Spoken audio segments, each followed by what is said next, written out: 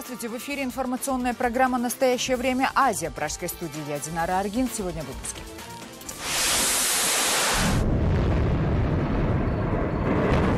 Америка возобновила бомбежки Ливии. ВВС США уже нанесли мощные авиаудары по позициям ИГИЛ в портовом городе Сирт. На этот раз американцы заручились, как и россияне в Сирии, поддержкой законного ливийского правительства. Мы будем помогать им, чтобы гарантировать, что ИГИЛ не закрепится в Ливии. Столице Казахстана начался суд над экс-председателем Союза журналистов Ситказы Матаевым. Его обвиняют в хищениях, но общественность считает, что Матаев просто не угодил властям. Больного журналиста насильно перевезли из Алматы в Астану и поселили в Клоповнике. Вокзал. На вокзале нашли квартиру. Клоповник. В Вашингтоне открылся саммит министров иностранных дел пяти стран Центральной Азии при участии госсекретаря США. От саммита ждут прорыва во взаимоотношениях.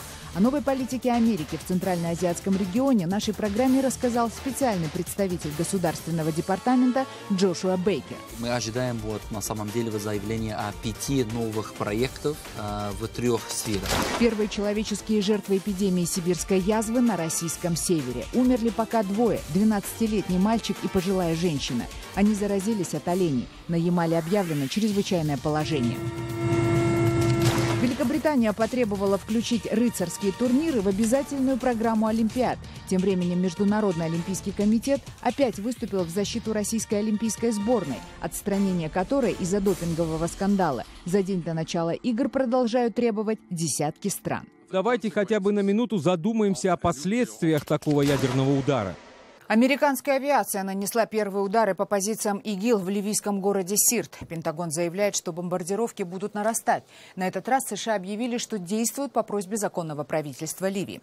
Формат совместных боевых действий очень похож на взаимодействие российских ВВС и армии Асада. Ливийские чиновники подтверждают, что сами попросили американцев о поддержке.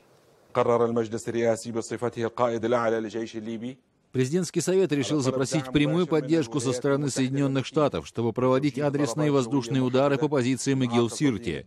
Наши силы смогли вернуть себе некоторые важные и стратегические позиции. По просьбе правительства национального согласия Ливии, США провели точные воздушные удары по целям ИГИЛ в ливийском Сирте для поддержки правительственных сил, которые стремятся победить боевиков в их основной цитадели.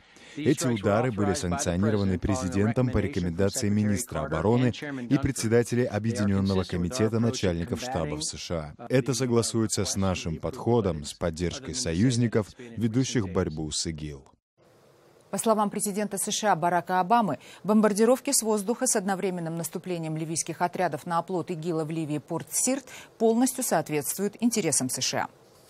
They had already made significant progress against ISIL. Они уже достигли значительного прогресса в борьбе с ИГИЛ и практически окружили и блокировали боевиков в очень ограниченном пространстве в Сирте и его окрестностях. Это в интересах и нашей национальной безопасности в борьбе против ИГИЛ, убедиться, что ливийские силы в состоянии довести это до конца. И поэтому мы будем помогать им, чтобы гарантировать, что ИГИЛ не закрепится в Ливии. Сражение за порт Сирт продолжается уже несколько недель. Боевики, занявшие город в начале 2015 года, построили вокруг Сирта и внутри города настоящий укрепрайон. Ливийская правительственная армия и ополчение за прошедшие месяцы не смогли овладеть центром города, но им удалось фактически его окружить. Атакующие Сирт ливийцы заявляют, что не считают террористов из ИГИЛ мусульманами. Я вступил в эту войну во имя и ради моей мусульманской религии, а также ради моей страны Ливии. Я борюсь с этими неверными из ИГИЛ, с этими врагами ислама. И Бог будет с нами, когда мы победим. Помимо американцев, которые открыто заявили о своем участии в военных действиях в Ливии, в стране присутствуют и французские военные, но неофициально. Президент Франции Оланд признал, после того, как исламисты сбили в Ливии вертолет с тремя французскими спецназовцами, что в Ливии проводятся секретные военные операции. Тем временем из Ливии после сообщения о начале новых бомбардировок резко усилился поток беженцев в Европу. Только за последние два дня итальянские военные моряки спасли в море 3000 человек, которые пытались доплыть до Италии на перегруженных резиновых лодках. В Астане начался судебный процесс над бывшим главой Союза журналистов Казахстана Сиит-Казы Матаевым. Его обвиняют в крупных хищениях и неуплате налогов. Но общественность считает, что целью властей является отнять у Матаева его информационное агентство «Костак» и здание Национального пресс-клуба, которое находится в престижном районе Алма-Аты. Больного Матаева насильно доставили в Астану. Накануне находящийся под домашним арестом журналист провел молчаливую пресс-конференцию в Алма-Ате. Он может только жестикулировать. Вы видите, как это происходило. Матаев общался с журналистами со своего балкона при помощи жестов, так как условия ареста не позволяли ему общаться с прессой при помощи слов. Адвокаты Матаева надеялись, что власти отпустят их подопечного, но вместо этого журналисты решили судить в столице Казахстана Астане. Как сообщают журналисты нашей программы, на суде Матаев заявил, что в Астане его также поместили под домашний арест в квартире с клопами и сотрудниками антикоррупционной службы, которые его охраняют. О том, как проходило первое судебное заседание, Айнур Коскина. Подсудимый Матаев, ваше мнение в отношении представителей массовой информации? Я думаю, если открытый суд, пусть присутствует. Я думаю, они мешать не будут. Я думаю, что Ясно. Я считаю, что суд должен объективно пройти, и пресса должна присутствовать, тем более Речь идет о, о Союзе журналистов, Национальном пресс-клубе и Международном агентстве «Костак». Дело председателя Союза журналистов Казахстана Ситказы Матаева антикоррупционная служба рассматривала почти полгода. Его обвиняют в уклонении от уплаты налогов и мошенничестве на сумму более 600 миллионов тенге. Это порядка 1 миллиона 700 тысяч долларов США по текущему курсу. Вместе с отцом на скамье подсудимых его сын, гендиректор Международного информационного агентства «Костак» Асет Матаев. Во время следствия Матаевы находились под домашним арестом в Алма-Аты. Прежде чем передать дело в суд, их перевезли в Астану и поселили в съемную квартиру. Я, я хочу вам сказать, жить в одной комнате с финполовцами, понимаете, я еще а, как бы ориентацию не потерял. Это одно. Второе. Ночью комары и клопы, вот они могут подтвердить, они даже не продезинфицировали. Вчера пришли, сфотографировали, я не знаю, может они, это их квартира, чья-то там, Финполовская, я не знаю. Но там жить невозможно. Просто я могу район сказать, где они как бы эту квартиру нашли. Это вокзал. На вокзале нашли квартиру. Клоповник. Ну, честно говорю, я весь покусан и могу вам показать. Адвокаты председателя Союза журналистов Казахстана ходатайствовали о выходе подсудимого под залог. Матаев-старший серьезно болен. Даже в зале суда он постоянно контролирует давление. Говоря, уважаемый судья, я мог бы на суд не приезжать. Мне предложили провести две, две операции. У меня в э, почках опухоль нужно сделать, на головном мозге нужно сделать, вам сказали, диагнозы подтверждены. Я вчера должен быть госпитализирован, но я просто э, сказал врачам, я 6 месяцев сдал этого суда, я хочу присутствовать на, на этом суде, я хочу доказать свою правоту. По мнению представителей прокуратуры, Матаев должен находиться под домашним арестом. Сроки домашнего ареста в отношении Матаева продлевались э, до 22 июня 2016 года без изменения условий содержания под домашним арестом. Э, в надежде на то, что он возместит ущерб и окажет содействие органу следствия.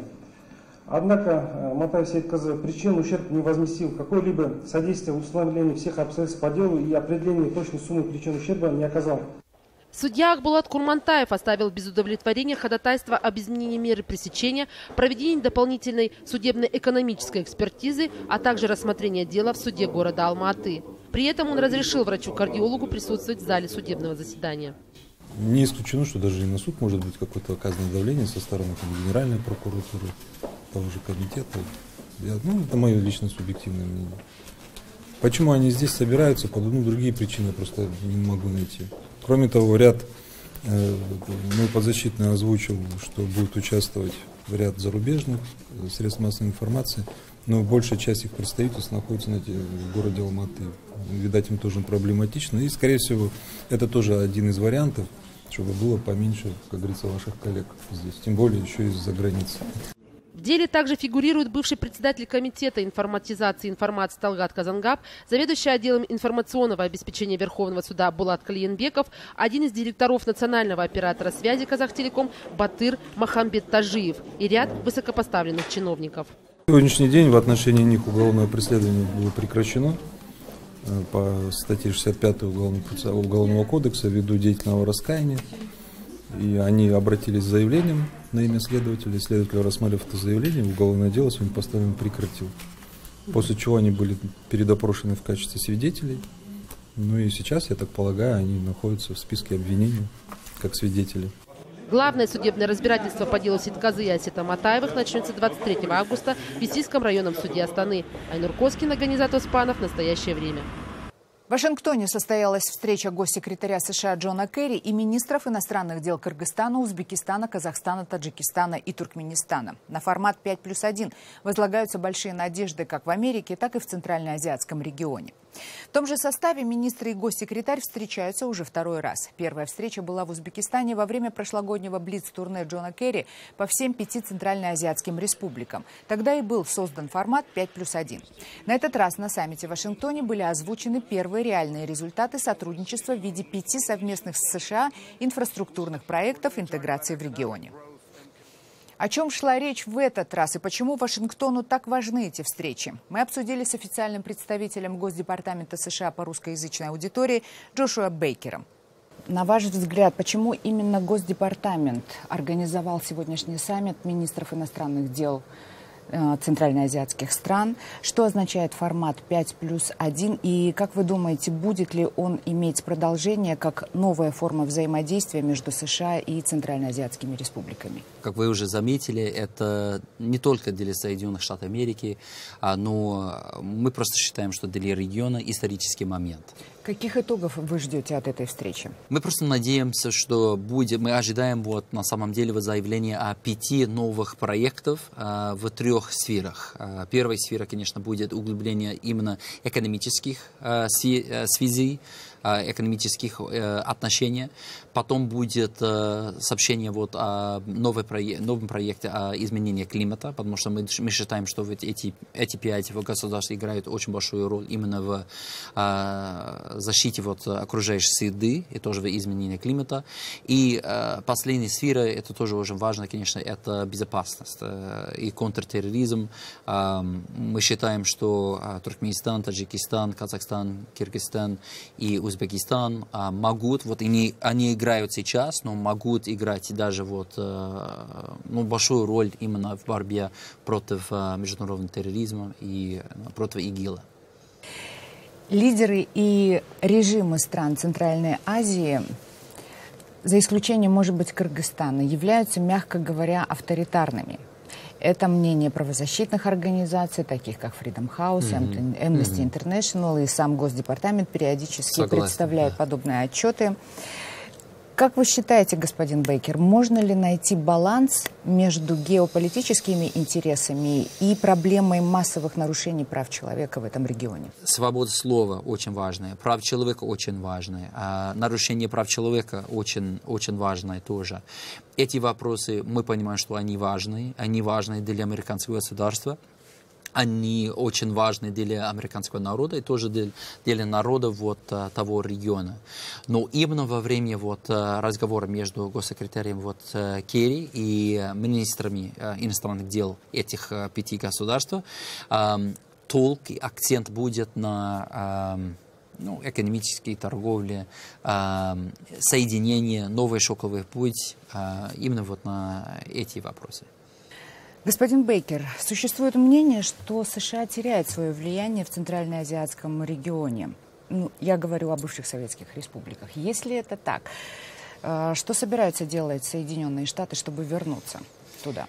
Uh, ну, сначала я думаю, что это мнение, конечно, не существует в США. Uh, uh, мы, мы не считаем, что теряем вот влияние, или и даже вот это не игра нулевой суммы на самом деле. Вы, наверное, имеете в виду вот насчет военных баз, или если там есть какое-то эм, соревнование вот между, может быть, Российской Федерацией, вот, э, США или э, влияние, вот, китайское влияние в регионе. А США считают, что на самом деле вот э, каждое государство должно вот иметь хорошие отношения со всеми э, своими соседями, с, со всеми своими соседами. А, и тоже США. Там есть очень, очень большое пространство для углубления и а, улучшения вот отношений. И вот почему то, что мы хотим делать.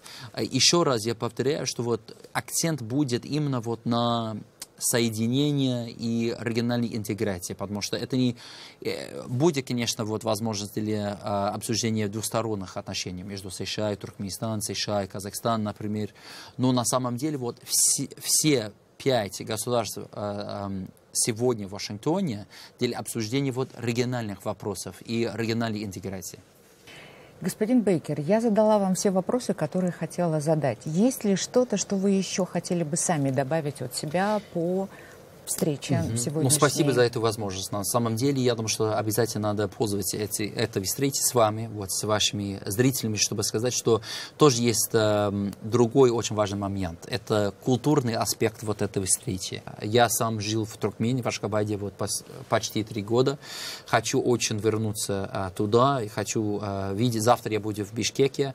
Э, и я просто хочу, что я обожаю вот этот регион. Э, хочу, э, хочу э, узнать побольше об этом регионе. И просто надеюсь, что вот отношения именно между народами будет э, развиваться э, очень быстро и э, глубже. Спасибо вам огромное. Спасибо вам огромное. Спасибо. Полную версию этого интервью смотрите на сайте currenttime.tv. Далее в программе. Первые человеческие жертвы эпидемии сибирской язвы на российском севере. Умерли пока двое – 12-летний мальчик и пожилая женщина. Они заразились от оленей. На Ямале объявлено чрезвычайное положение. Великобритания потребовала включить рыцарские турниры в обязательную программу Олимпиад. Тем временем Международный олимпийский комитет опять выступил в защиту российской олимпийской сборной, отстранение которой из-за допингового скандала. За день до начала игр продолжают требовать десятки стран. Давайте хотя бы на минуту задумаемся о последствиях такого ядерного удара.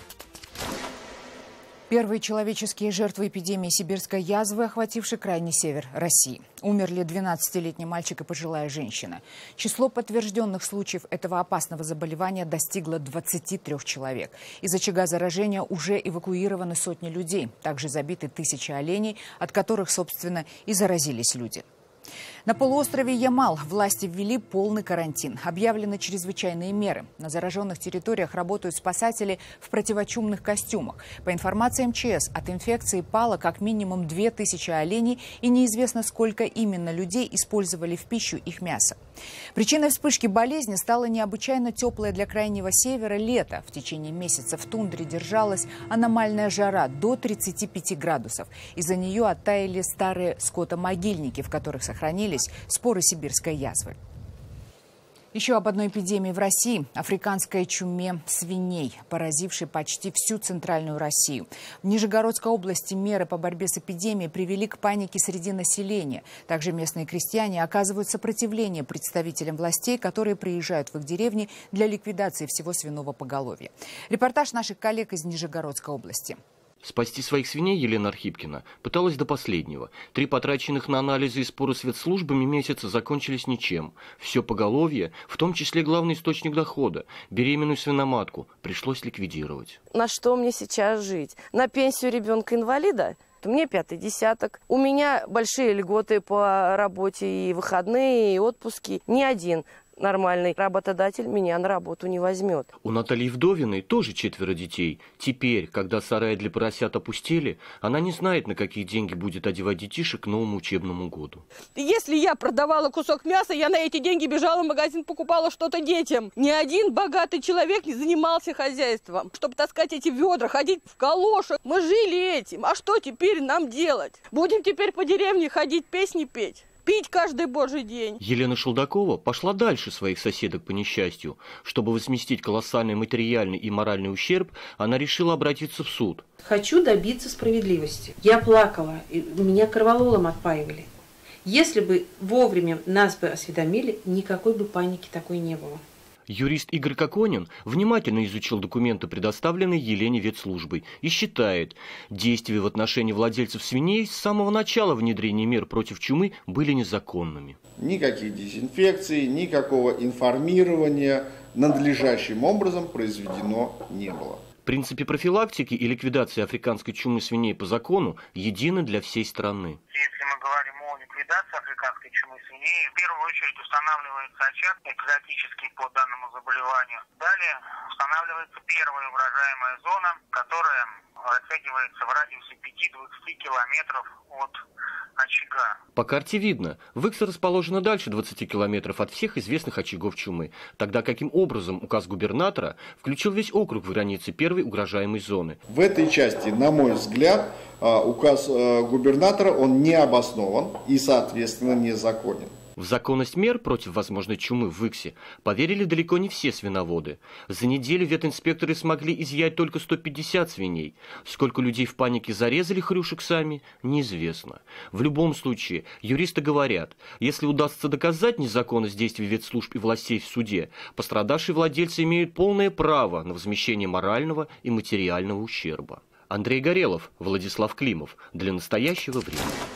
В Бразилии демонстранты фактически сорвали заключительный этап эстафеты Олимпийского огня. Жители пригородов Рио-де-Жанейро протестуют против проведения Олимпийских игр, которые начнутся уже 5 августа. Беспорядки на улицах привели к тому, что факельное шествие началось на несколько часов позже, а его маршрут был изменен. Местная пресса сообщает, что в протестах участвовали несколько сотен человек, большинство из которых были студенты и учителя. Они жаловались на задержку зарплат и заявляли, что в стране, где экономический кризис, нельзя проводить дорогостоящие международные соревнования. Протестующих, в конце концов, разогнала полиция. Тем временем за день до начала Олимпиады не утихают страсти вокруг участия в ней российской олимпийской сборной. Десятки стран мира по-прежнему требуют отстранить российских спортсменов из-за систематического употребления допинга. Сегодня глава Международного олимпийского комитета Томас Бах вновь был вынужден вступиться за непричастных к допингу российских олимпийцев. Он сравнил возможное отстранение россиян с ядерной бомбой, взорвавшейся внутри олимпийского движения. Такое сравнение может быть непропорционально, но давайте хотя бы на минуту задумаемся о последствиях такого ядерного удара. Его результатом стали бы смерть и полное разрушение. И такой циничный подход к сопутствующим потерям — это не то, что отстаивает олимпийское движение. И еще об олимпийских видах спорта. Великобритания настаивает на включении в программу Олимпийских игр рыцарских турниров. Энтузиасты собрали уже тысячи подписей под своей инициативой. По их мнению, средневековые соревнования можно вполне расценивать как классический западный вид боевых единоборств. Подробности в репортаже Рейтер. Лошадь, доспехи и копье длиной почти в 4 метра. Рыцарские турниры в наше время можно увидеть лишь в виде театрализованного действия. Между тем, группа энтузиастов из Великобритании собирается добиваться их признания в качестве олимпийского вида спорта. По мнению фанатов таких турниров, дисциплина заслуживает того, чтобы ее считали западным видом боевого искусства. Пока что благотворительный фонд «Английское наследие» запустил интернет-петицию для продвижения этого спорта перед Олимпиадой в Рио. Единственное отличие в экипировке по сравнению со средневековыми турнирами – копья теперь делают полыми изнутри. Благодаря этому они легче ломаются, что снижает риск получить травму. Включение спорта в олимпийскую программу – это долгий процесс. Сначала дисциплину регистрируют, после чего она подвергается тщательной проверке на протяжении по меньшей мере 7 лет. Также необходимо будет создать Международную рыцарскую федерацию, которая будет официально признана руководством игр. На Олимпиаде в Рио новых видов спорта представлено не будет. Сейчас в стадии рассмотрения находятся бейсбол, софтбол, карате, альпинизм, скейтбординг и серфинг. Все они рекомендованы для включения в программу летних игр 2020 года, которые пройдут в Токио. Это были все новости, о которых мы хотели вам рассказать. Читайте нас в социальных сетях и смотрите на сайте currenttime.tv. Мы встретимся с вами завтра в это же время. Всего доброго.